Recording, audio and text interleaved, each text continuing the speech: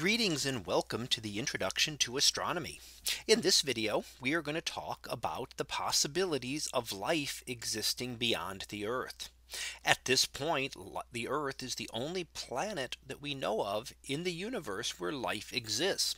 However, we do know that the organic molecules that form life are very easy to form and are found on other planets, on asteroids, comets, and even in molecular clouds out in space.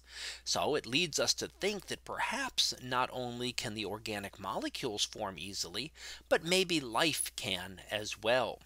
So let's start off looking here in our own solar system, some places where might we find life? Well, Mars is one of always been one of the best bets for looking for life. Why Mars? Well, because we know that it is the only place other than Earth that had liquid water in the past. So knowing that liquid water was there and that liquid water on Earth was vital for forming life leads us to believe that if there is going to be someplace else in the solar system that it would have been on Mars. Now we've looked for life on Mars for a long time and even thought remember that there were canals and possibly civilizations on Mars over a hundred years ago. But we looked specifically with the Viking landers in 1976. Viking 1 and Viking 2 both went with material to test the Martian soil and look for signs of organic molecules, evidence of biological activity, but nothing conclusive was ever found. So no signs of living materials on Mars. The Curiosity rover has found looked at mudstone again finding evidence of liquid water and really gives evidence that Mars would have been habitable in the past. But have to say for sure that means it was habitable not that it was habited. So that does not mean necessarily that life existed. It does not rule out the possibility of life. But we certainly know now that Mars would not have had any kind of significant civilization. So could there be life on Mars today? You know, or what did Mars look like perhaps long ago? Mars might have looked something like this and had a great ocean here of liquid water on its surface. And we see remnants of some of that today and of some uh, water flows that have existed. So we do know that Mars was warmer and was wetter in the past than it is today. Could liquid water still exist underground? We know that there is a salty liquid water, not water as we know it, but a very briny salty water that does flow intermittently on the surface today in uh, on the walls of some of the craters. And we can see evidence of that. So it's not water as we would think about it, but there is evidence that still to this day that there is some kind of liquid uh, flowing on the surface of Mars. Typical liquid water, the stuff we're used to, because of the pressures and temperatures on Mars does not exist. So you could not have liquid water on Mars today. And we also know that there's the lack of an atmosphere. And that leads to things like no ozone, which we have here on Earth, which helps protect us from ultraviolet radiation. The Martian surface would be exposed to ultraviolet radiation from the sun, and that could help sterilize the surface. What might exist down below the surface is still a good question. We've dug down with some of the landers and the rovers looking for signs, but have not been able to find anything to be able to confirm that life ever existed or still exists on Mars. Elsewhere in the inner solar system, we're unlikely to find any kind of life. Neither Venus uh, nor Mercury show any signs of being habitable. But how about the outer solar system? In the outer solar system, we see uh, that we're not going to be able to form life on the planets of the outer solar system, at least not life as we know it, because they do not have a solid surface. However, the moons are another story. So things like Europa pictured here does have an ocean of liquid salt water below the surface ice. So it does have water down below. And could there be mixing of that with surface materials? Could there be any kind of basic life down below? We know that there's not going to be any life on the surface. There is no atmosphere. So it is exposed to uh, radiation and cosmic rays that would sterilize the surface. However, down below this this surface, which would protect it, we could possibly have life. And there are missions that have been discussed to try to go to Europa to be able to try to sample and see if there is any kind of life uh, down below the surface ice. Elsewhere in the outer solar system, Europa isn't the only one. We do look at other uh, places. Uh, Enceladus around Saturn is another example. We do know that there is also liquid salt water below the surface there.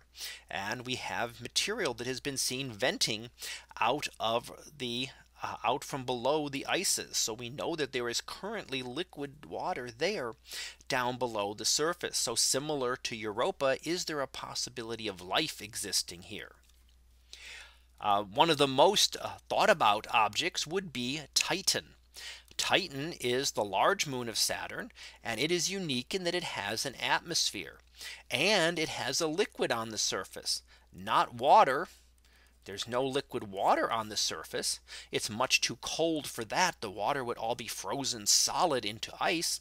But methane does exist in the form of lakes and rivers that we have seen by the lander uh, that landed on uh, Titan a number of years ago.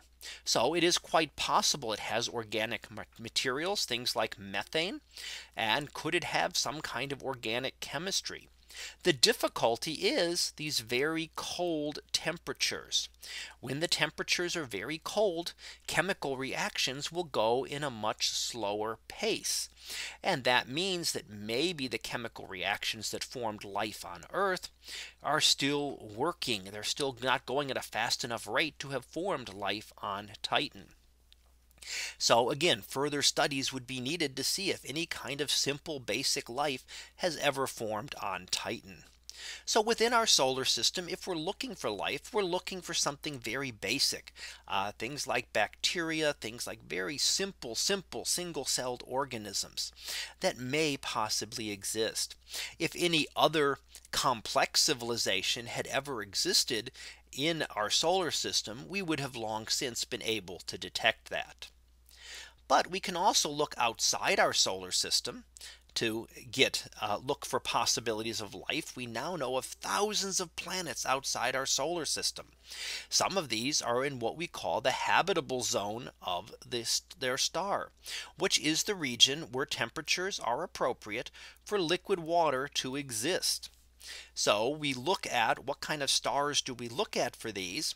Well, we look at stars like our sun. So stars like our sun here in the middle would have a good habitable zone, good size habitable zone. Whereas a smaller cooler star would have a very small habitable zone very close to it. So here you're looking at the green region as the habitable zone. And inside the red gets too hot, the blue gets too cold, the green is where it's just right.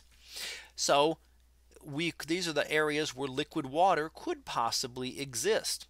So for our solar system, just that third planet here that would be us here at Earth would be the one that is in the habitable zone Mercury and Venus being too close and Mars being a little bit too far away.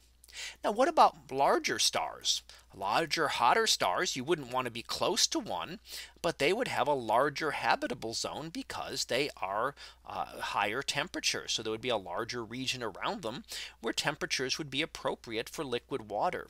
However, these hot stars do not live very long. In fact, some of these only live millions of years.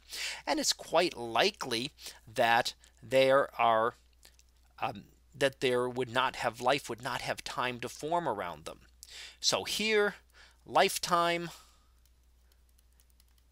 is short And down here, the habitable zone is small. So a very small habitable zone, meaning unlikely to look at these. So when we want to look at stars, we try to select stars that are similar to our own sun, giving enough time for life to have formed and possibly even intelligent life and having a large enough habitable zone to have a big enough region where possible planets could exist. So what would be some signs of evidence for life? And what we'd see if we're searching again Earth like planets, we're looking for things like oxygen in the atmosphere. Does that mean life? And does a lack of oxygen mean no life? Uh, right now, we would think that if we were to find oxygen in an atmosphere, it would be a very good sign of life because that is one of the few ways that you can get oxygen into the atmosphere. Oxygen does not form naturally as we've seen none of the other planets any place else with an atmosphere we do not see free oxygen or oxygen molecular oxygen. We don't see that anywhere except on the Earth. So it's very likely that if we could ever detect another planet with significant quantities of oxygen in the atmosphere, it would be a good sign that it did have some kind of life. However, does a lack of oxygen mean no life? And the answer is no. On the Earth, we only had oxygen in the atmosphere for the last half billion years. So for the first few billion years, we had essentially very little oxygen in the atmosphere, but we still had life, maybe very simple life or just ocean life, but life did exist. So just because we do not detect oxygen in atmosphere does not necessarily mean that life does not exist on that planet. It is very difficult to directly study these planets. We can't explore them. There's no way to send spacecraft to them, especially those when we get outside of our solar system. We need to use indirect methods to be able to study these. These planets are too faint and too close to their stars to really be able to study them directly. So we need to use indirect methods to be able to study them. So let's finish up here with our summary. And what we found is certainly so far life has been found only on one planet and that would be the Earth. That is the only place that we know of that any kind of life exists.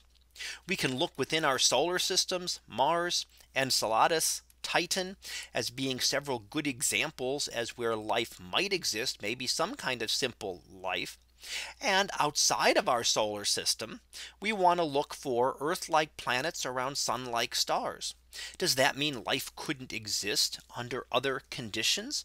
Not necessarily. But it does mean that that's where we're going to be most likely to look for life because that's the kind of life that we think might be able to exist. Until we can actually detect life that forms under other conditions, we don't know for sure if life can form under those extreme conditions. We do know that life can form and at least formed once based on carbon and with liquid water. So that concludes our lecture on life beyond Earth. We'll be back again next time for another topic in astronomy. So until then, have a great day, everyone, and I will see you in class.